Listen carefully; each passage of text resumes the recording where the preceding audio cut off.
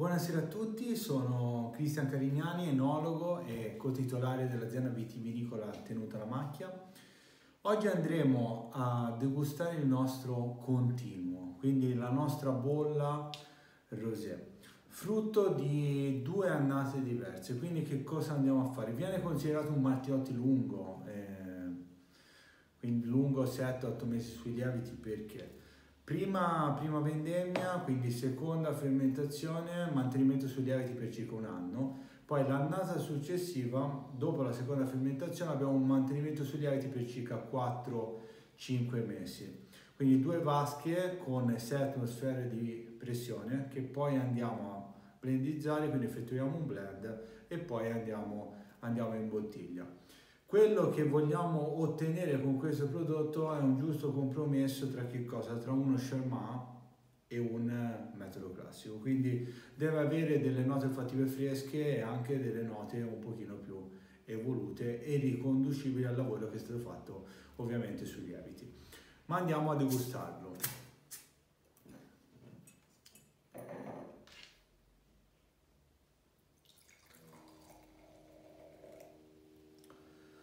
Anche qui abbiamo un, un, colore molto vicino al nostro rosato fermo, quindi al nostro, nostro materia, un eh, colore abbastanza intenso, molto brillante, eh, frutto anche di un pH ovviamente basso. Bollicina, bollicina decisamente, decisamente fine, si formano queste, queste catenelle preziose che sono molto importanti per, eh, un po' per tutti gli spumanti. Andiamo al naso. Naso molto variegato, note, note burrose della fragolina, fragolina di bosco, della, della ciliegia. Anche qui ritroviamo un po' di, di scorza di arancia. Andiamo a degustare.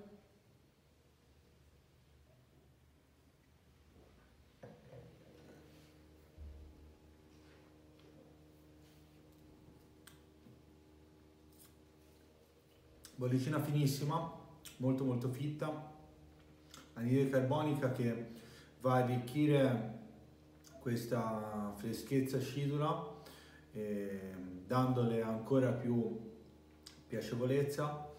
Eh, tutta la parte fruttata la ritroviamo in ingresso con eh, questo, questo finale ehm, con eh, un pochino di frutta secca, quindi leggermente leggermente mandorlato. Stiamo parlando di un eh, 5 grammi litro di zuccheri, quindi una bollicina rosé a tutto pasto, produzione di 2600 bottiglie l'anno. Con che cosa posso abbinare la nostra bolla? Anche questo è un prodotto molto molto trasversale, trattandosi di un rosé indubbiamente con degli sformati, degli sformati di verdure, salumi, formaggi, formaggi, formaggi freschi, eh? quindi con una presenza di, di, di nota lattica anche eh, importante, di nota mh, mm, grassa. Mm?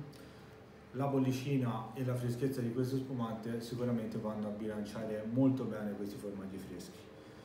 Il eh, crostacei con eh, ovviamente una consistenza dolce, come tutti i crostacei, dei funghi, benissimo, e ultimamente l'abbiamo provato anche con eh, delle melanzane parmigiana, quindi prodotto altamente, altamente eh, abbinabile e trasversale.